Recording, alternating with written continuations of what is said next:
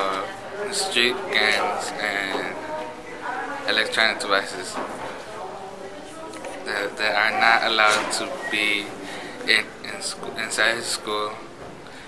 And for the street gangs, it would be much better for me. It would be better for me and other students walk to their house, from school to their house, and from their house to their school safety.